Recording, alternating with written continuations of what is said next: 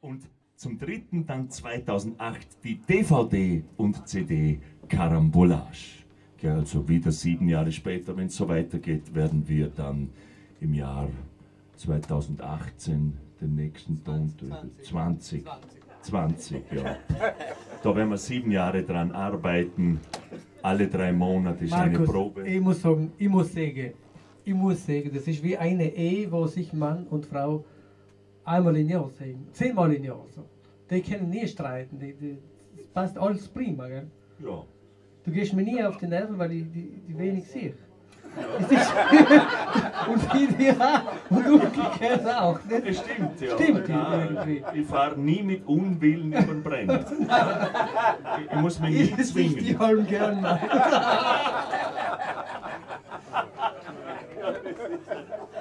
Ja, ich muss dazu sagen, wo wir so unter uns sind. Gell? Also kulturelles Lernen vor 21 Jahren bei den ersten gemeinsamen Proben in, in Orling. In Orling äh, bin ich als Vorarlberger pünktlich gekommen, der Gianni als Italiener eine halbe Stunde zu spät.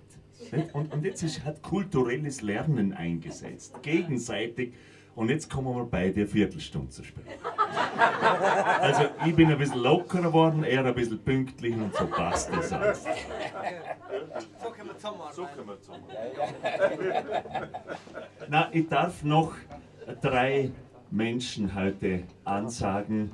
äh, Und die sind heute aus Sheffield angereist. Sheffield ist Seefeld. Seefeld, die sitzen da. Ottmar, Martin und Helmut sind Fans der ersten Stunde, die seit 1990 dieser Band nachreisen. Man muss sich das vorstellen, von Sheffield nach Bozen sind sie heute gekommen. Bitte einmal einen Applaus für Ottmar, Martin und Helmut. Und ihr seht, hier wird gefilmt. Der Martin da vorne, der ist nämlich der, der ohne uns zu fragen uns ständig auf YouTube einstellt. Also, äh, die schicken sogar unsere CDs zu amerikanischen Blues-Magazinen, damit die Rezensionen schreiben. Also die machen PR ohne Auftrag. Also solche Fans muss man mal haben. Und wir haben heute beschlossen, nachdem diese Fans aus Sheffield uns ständig nachreisen, werden wir im Jahr 2011 nach Sheffield reisen. Werden wir mal unseren Fans nachfahren und ein Konzert in Seefeld geben. Gell? Go. Bravo. Bravo.